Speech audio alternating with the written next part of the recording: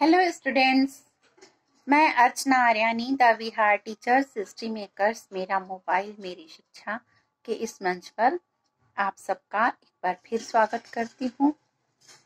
चलिए हम लोगों ने जो बिहार बोर्ड के साइंस विषय के मॉडल क्वेश्चन को सॉल्व करने की शुरुआत की थी, उसको आगे बढ़ाते हैं और अपने अगले बहुवैकल्पिक प्रश्न पर जाते हैं। तो हमारा आज का प्रश्न है, जो एक, इकहत्तरवा प्रश्न है, सेवेंटी फ़र्स्ट प्रश्न। हाइड्रा में अलैंगिक जनन की विधि है।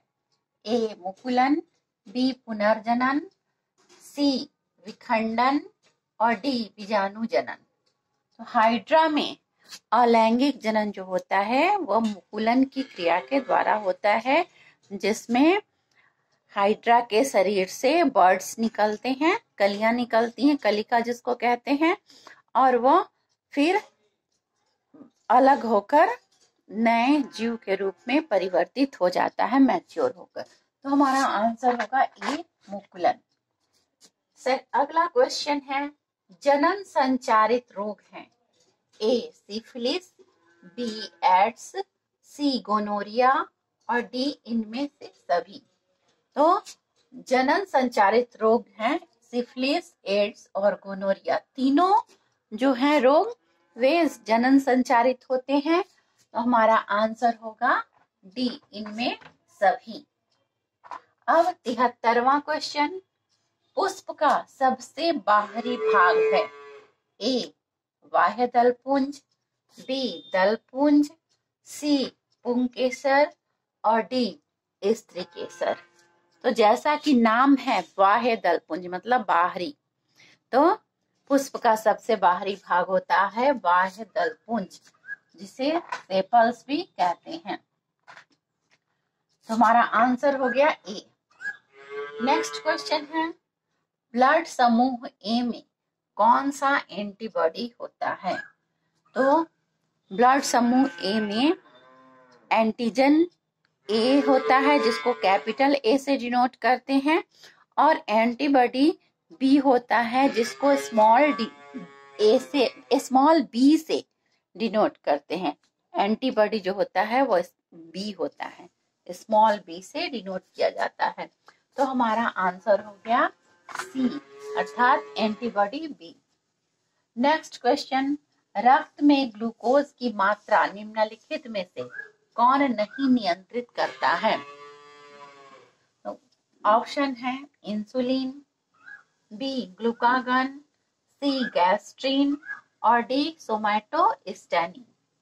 इसमें इंसुलिन, ग्लूकागन और सोमैटोस्टेनिन जो है पैनक्रियाज से निकलने वाले हार्मोन हैं और ये तीनों रक्त में ग्लूकोज की मात्रा को नियंत्रित करते हैं। तो हमारा आंसर हो गया सी। गैस्ट्रिन। नेक्स्ट क्वेश्चन है, पादप वृद्धि हार्मोन है। A, gibberellin, C, adrenaline, B, adrenaline, C, insulin, D, thyroxine.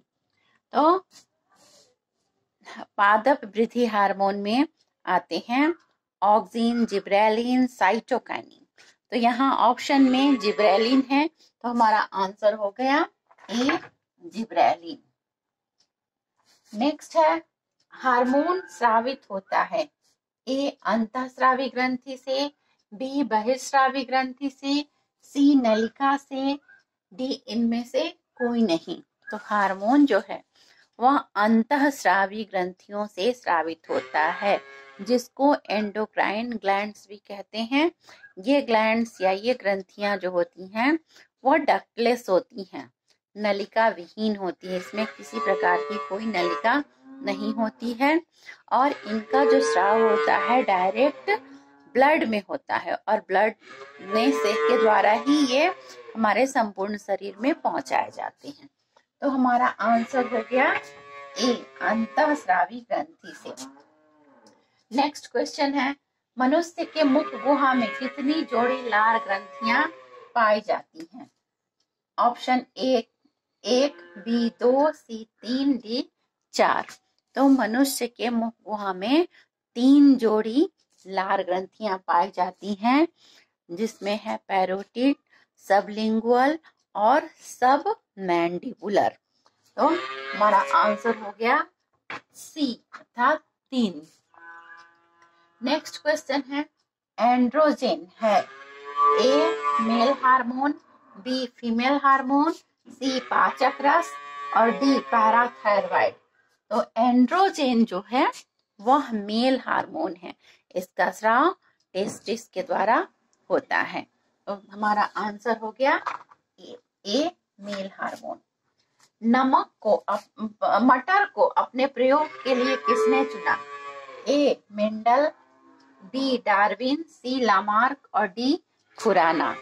तो मेंडल ने अपने बगीचे में उपस्थित मटर के पौधे पर अपना एक संकरण और द्विसंकरण का प्रयोग किया था। तो मेंडल ने ही अपने बगीचे में उगने वाले मटर के पौधों को अपने प्रयोग के लिए चुना था। तो हमारा आंसर हो गया ए मेंडल तो आज के लिए बस इतना ही। फिर मिलते हैं अगले वीडियो में। धन्यवाद।